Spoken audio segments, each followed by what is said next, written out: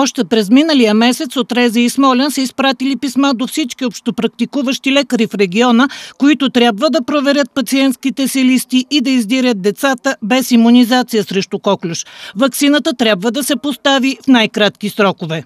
Изпратени са писма и до кметове на общини, за да може пък чрез медицинските специалисти в училища и детски градини също нали, да се направи проверка за деца без реимунизации, също да бъдат насочени към личния лекар за обхващането им.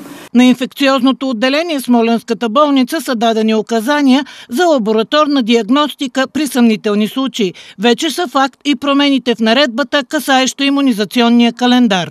Могат вече а, бебетата да се обхващат от 6-та седмица, да се, нали, да е първия прием, 10-та седмица, от 10-та седмица втори прием, от 14-та седмица трети прием на, а, с а, вакцината срещу коклюш.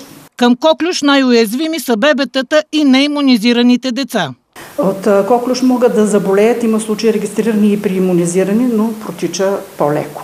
Препоръката към родителите, особено ако децата са неимунизирани, са по-малки, нали, да се избягват контакти с много хора и ако вече са достигнали иммунизационна възраст, нали, да не се пропускат иммунизациите. Бременните жени също могат да се вакцинират срещу коклюш. Предстои отварянето на кабинет, където по график ще се извършва тази иммунизация. Ваксината се предоставя от Министерство на здравеопазването и е безплатна.